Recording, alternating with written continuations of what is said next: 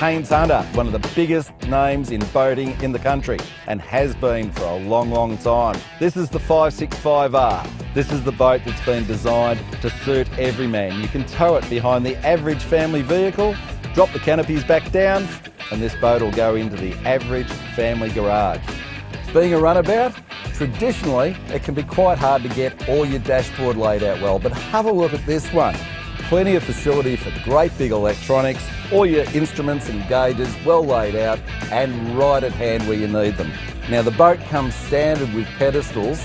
I don't personally like pedestals myself, so I think they've done the wise thing by opting up to full strong fiberglass seat boxes, which give you all that storage facility and nice, comfortable, beautifully trimmed shell type seats that swivel and adjust. We've got full length bunks and you could put a bunk divider in there as well if you wanted to sleep two uh, nice and close together.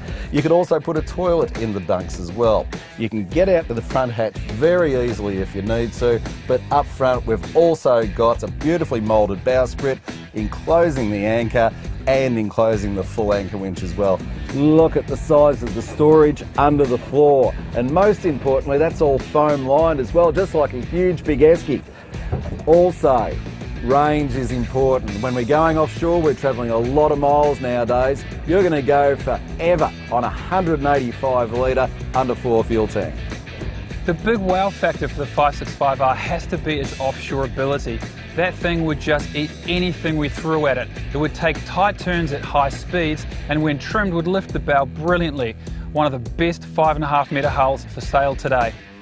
Haines still proudly use wood in their stringers and they claim that there's no other material that offers the same combination of weight, uh, shock dampening and soundproofing as timber and as long as it's encased properly in fiberglass you don't have rot issues. So they've stuck with timber when a lot of other boat companies have gone for composites in their stringers and I've got to say the proof is in the pudding. That boat rides extremely well. It's a kind of rig that you can set up quite nicely for a little bit of trolling. It's a nice little bottom fishing type of rig and it's one that mom, dad and the kids would have a good time on as well. 2.4 metre beam gives a big internal volume.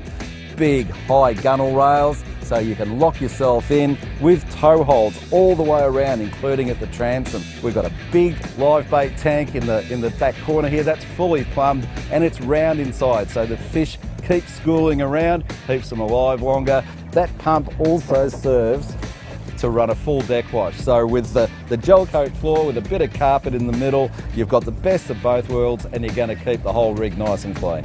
You've actually got a lockable rear door, there's a platform either side to get onto, add a little ladder on the back and away you go. You know what, the last thing you want when you pull that gummy shark on board and it's thrashing all around the deck is for its tail to go wiping out your batteries and plumbing in your bilge. Look how easy it is here, it's well secured, dual battery system here and all your bilge pumps and plumbing is where you can get to it to clean it really easily. The Mercury 150 horsepower four stroke. It's a beautiful match on the 565R. You can buy packages that go right down to 115 horsepower and if you opt up to the limited package you can actually opt them right up to 200 horsepower for an absolute speed demon but for my liking 150 horsepower Merc suits me just fine. In order to fit that lovely big motor on a, a uh, 5.65 boat and still get it into your standard 6 metre garage, they actually have an engine well doorway that folds forward to allow you to fully tilt the engine up when it's at rest and fit it into your garage without actually compromising eating into your deck space. For that reason, you're getting a lot more boat for size than you would in others, and therefore I think it's great value for money. It starts in the uh, mid 50s, uh, depending on what you get on the back.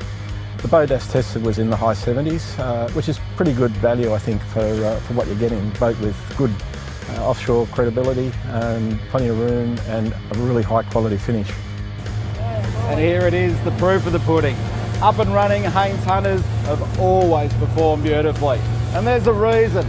They've got a very heavy build in the fiberglass construction. But you'll also notice there's no clatter and bang at all. And that's because it's fully foam filled full matrix underfloor design and really nicely lined cabins so any hull noise is just sound deadened as well. That's the way to build a boat.